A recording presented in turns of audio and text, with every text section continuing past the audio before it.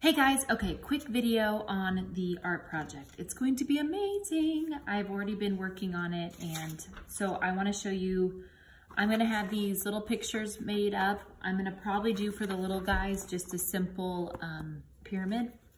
What they're gonna do is they're gonna take their picture and they are going to put it on their foil. So this is the copper side. So um, you have your cardboard underneath and if you guys could bring ballpoint pens, that would be amazing because I need more of them.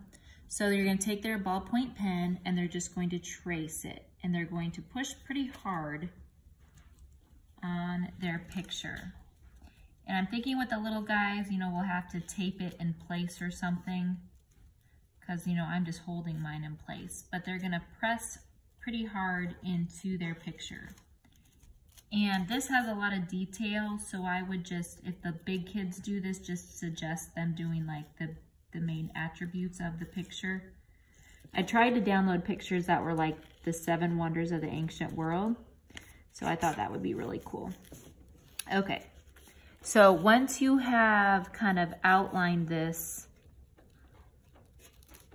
and I the pictures that we're going to be using, I inverted them. So when they're um, copied traced onto the page, they'll be the right side way they're supposed to be. This one isn't inverted because I didn't have that idea till after I printed this one, but I'm just using this for demo.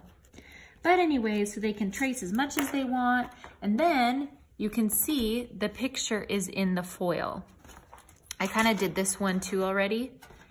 And then what we'll do is we'll take the picture and we'll wrap it around the cardboard. And then they will take the black tempera paint and just with a sponge, they're gonna put the paint on here. And then they're gonna sit in the back of the classroom till the, the end of class. So art is one of the first things you need to do. So we have time for the paint to dry. And then they're gonna take a wash, a little, uh, we'll do it two different ways. Like some people just use a sponge and they can just wipe off some of the black tempera paint and it will leave the oil looking background or some people use a wet paper towel. So um, maybe I'll try that in the morning, but this is gonna turn out amazing and I'm super excited.